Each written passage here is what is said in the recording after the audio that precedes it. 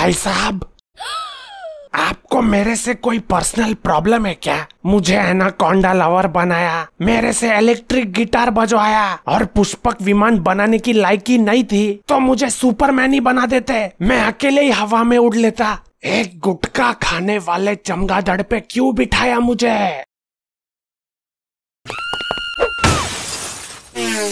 ये खिड़की से क्यों गया? दरवाज़ा खुलता नहीं क्या?